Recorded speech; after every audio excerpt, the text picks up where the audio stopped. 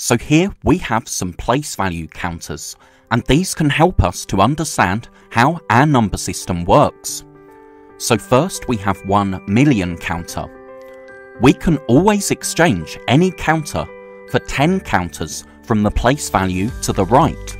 So we could exchange our million counter for 10 hundred thousands counters because 10 hundred thousands has the same value as 1 million.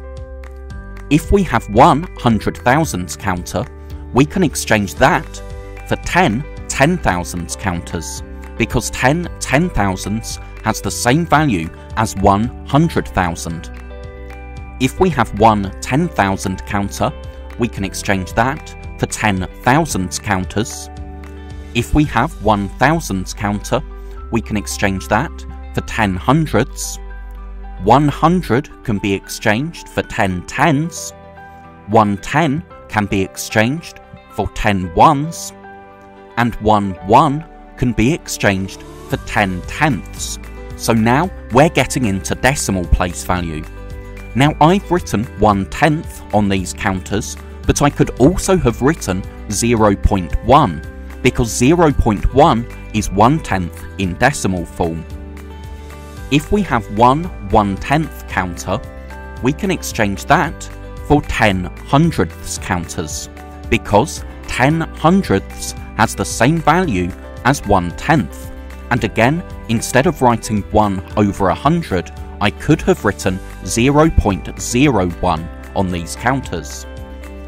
If we have 1 hundredth, we can exchange that for 10 thousandths counters. So we can always exchange a counter for 10 counters from the place value to the right. We can exchange the other way as well. So if we've got 10 hundred thousands counters, we can exchange those for 1 million counter. If we have 10 ten thousands, we can exchange those for 100,000. 10 thousands can be exchanged for 1 10,000 10 hundreds can be exchanged for 1,000, 10 tens can be exchanged for 100, 10 ones can be exchanged for 110. If we have 10 tenths, we can exchange those counters because 10 tenths has the same value as 1 whole. 10 hundredths counters can be exchanged for 1 tenths counter because 10 hundredths have the same value as 1 tenth.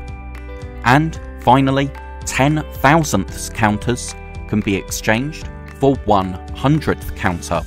So, if we have 10 of the same counter, we can always exchange those 10 for one counter from the place value to the left.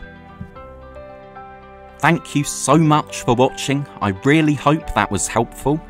If you're a teacher or a parent, then please subscribe or go to keystage2maths.com to download resources for this lesson and many more. That's all for now, I'll see you in the next video.